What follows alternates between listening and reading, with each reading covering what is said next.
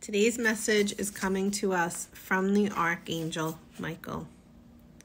And it's simply just that Michael is with you if you call him in.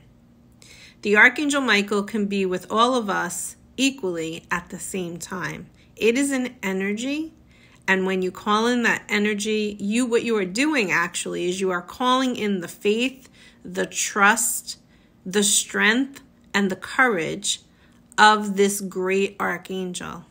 This archangel comes in the color of electric blue, but it doesn't matter if you see it or not.